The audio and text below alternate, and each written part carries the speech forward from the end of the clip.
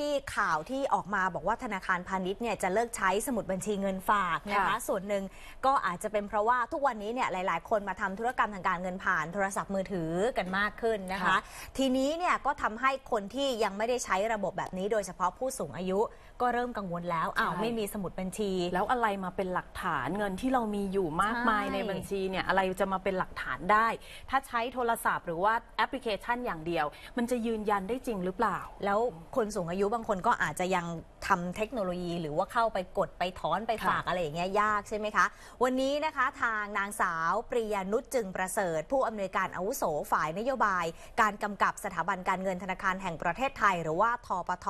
ออกมาชี้แจงแบบนี้นะคะว่า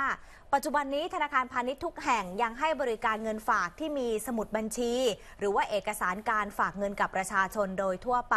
แปลว่ายังมีอยู่ปกตินะคะ สมุดบัญชีเนี่ยยังมีอยู่ปกติ เพียงแต่ว่าธนาคารบางแห่งอาจจะมีการเสนอผลิตภัณฑ์เงินฝากที่ไม่มีสมุดบัญชีให้กับลูกค้า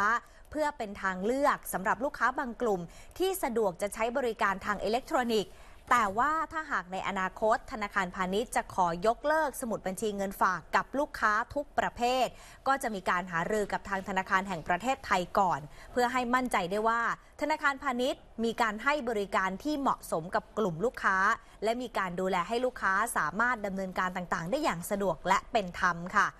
ด้านธนาคารไทยพาณิชย์ ซึ่งเป็นธนาคารที่เป็นข่าวในเรื่องนี้เนี่ยนะคะ ก็ออกมายืนยันว่า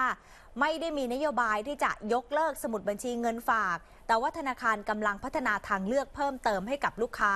ในกรณีที่ไม่สะดวก หรือว่าลืมนำสมุดบัญชีเงินฝากไปที่สาขา